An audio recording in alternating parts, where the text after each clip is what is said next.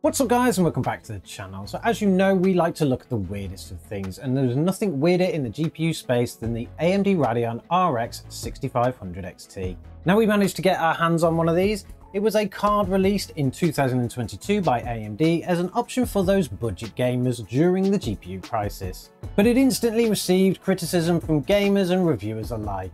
But were those criticisms justified? Let's find out.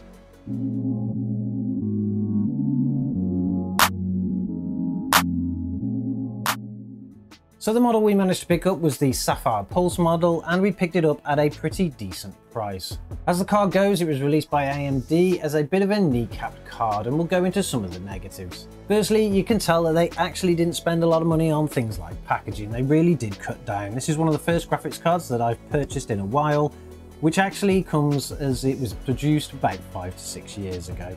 Inside the packaging, there is basically just a cardboard inlay with a bit of sponge padding and a kind of a spongy bag with the card in it. But the card itself inside is not that bad. This one being the Sapphire Pulse model is a twin fan system and it's actually pretty quiet. But obviously it does have its drawbacks. AMD in their great wisdom decided to do quite a few things wrong with it. Firstly, they only gave it 4GB of RAM, which you could probably consider as a budget option. It was probably not so bad, but this along with the fact that they only went for a 4 times PCI bus really didn't help the card's performance at all. Along with that as well, they also made it a PCI Gen 4 card, which means if you're going to be installing it in a PCI Gen 3, you're going to have a limitation on how much power it's got. And then to top it all off, they also removed some of the codecs. So if you're one of those budget gamers that wants to do a bit of streaming and recording, you're out of luck with this card, which is a bit of a shame because it means that AMD are really limiting the budget market and it's not going to help them get into it at all. But there are some upsides to this card. Obviously, it is a 6000 series card, so you're going to get the luxury of being able to use RSR and FSR technology, which hopefully should give it a bit of a boost going forward. Even though it's only got 4 gigabytes of RAM, that is pretty much the minimum you need for gaming at the moment, so that's not as bad. And of course, when you come to upgrade your platform and you do go to PCI Gen 4, you're going to get an instant upgrade in GPU as well. Then there is the price.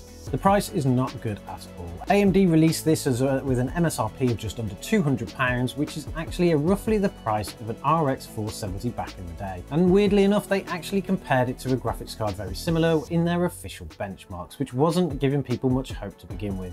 But obviously you're here to see how it performs and we're really interested in that too. So we decided to drop it into our testing machine and see how it would do. Now our testing machine does use a PCI Gen 3 system because it's on a 10th gen Intel, so it's going to give you the worst case scenario, but we actually felt that that was more in line with the people that were probably going to buy this. We also tested it with our normal targets, so we were trying to aim for 1080p 60 fps, and we used some of the most demanding games that we've got, so let's take a look.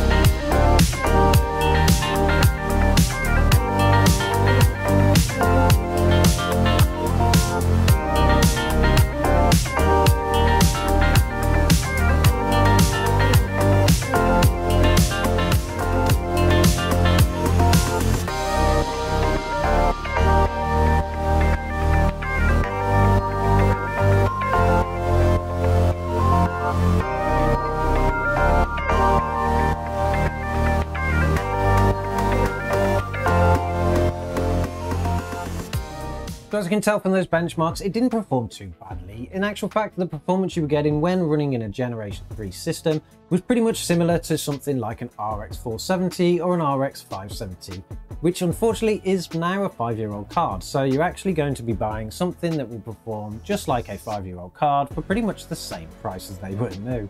Now that's quite unfortunate, but we decided to see what would it actually play like when you actually threw it at some esports. So we decided to load up one of the most demanding, well currently demanding esports titles, which is Fortnite, and to see what kind of experience we got.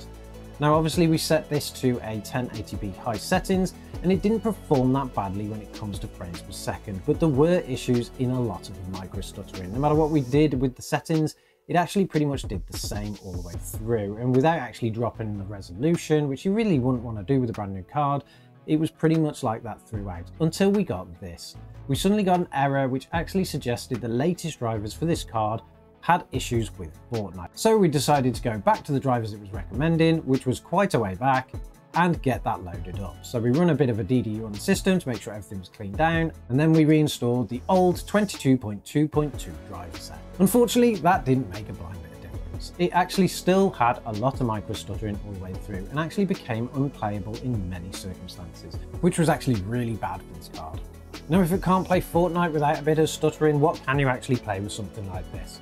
Clearly, if you're building a new system, it probably makes sense to get something like this because you are going to be running on a PCI Gen 4. And I believe that the actual micro stuttering problems that we had were down to the memory. It just couldn't read the memory fast enough, particularly when that game was had a lot of things on screen. But for anybody that's actually trying to upgrade an older system, you probably want to try and avoid. There are a lot of different options out there now on the secondhand market, which are much, much cheaper than this. Now these again are still actually running at about 200 pounds. This particular model uh, we could find for 240, which was actually a bit of an insane pricing for it. But we actually didn't pay that at all. We actually managed to pick this up for just 90 pounds. And I think that's actually a more fairer price for this card. But that's enough about what we think about it. Let us know what you think about this card in the comments below. Did AMD make a big mistake with this card? And did they really do over the budget gamers? Because after all, their main audience has always been the budget gamer. And this was the offering they managed to give them this time. Don't forget to subscribe to the channel if you like this kind of content. And also drop this video a like if you like this kind of thing. And we'll make sure that we keep doing it. But until the next time, we'll catch you in the next one.